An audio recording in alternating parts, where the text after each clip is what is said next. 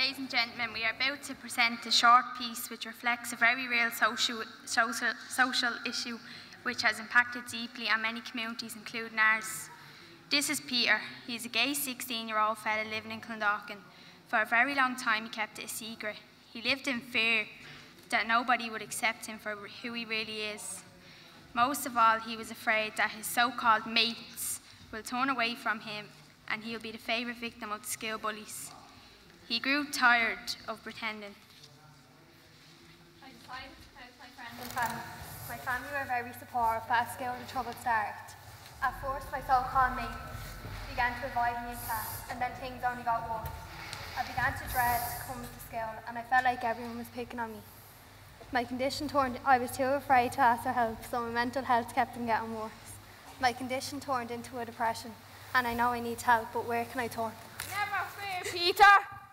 Sammy the superhero is here. There's a bunch of great organisations you can turn to if you need to talk to someone who will listen and won't be judgmental. Remember, any friend that abandons you when you need them isn't worth getting sad about. But I can't seem to find anything that helps.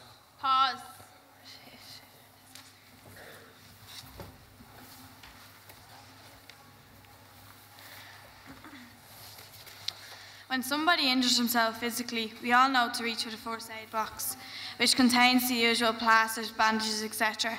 We realised there was no first aid for mental injuries, so instead of just noticing the problem, we tried to solve it.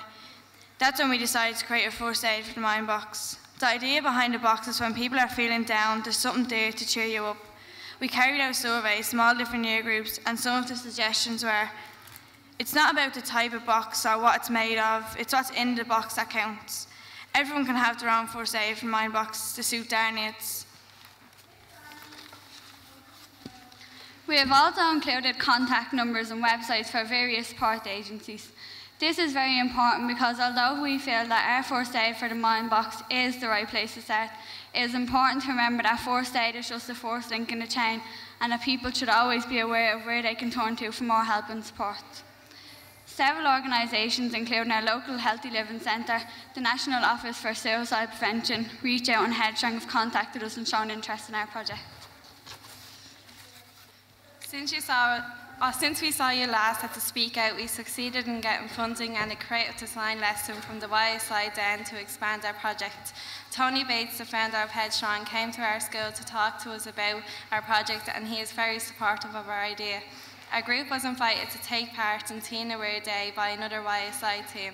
We organised a smile day in our school and will take part in Mental Health Information Day on Thursday. Tonight we will be performing our speak out at the local community centre and handing out mini first aid for the mind boxes to raise awareness of our project.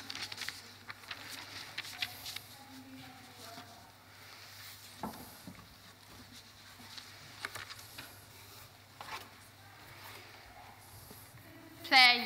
This is a first aid box you can, for the minds. You can put anything in it that you think will help. A friend that abandons you isn't a friend at all. But what about the school bullies? Stand strong, be proud of who you are. Don't let a bunch of bullies take away your honor shine. Remember, the most important thing in life is to be yourself.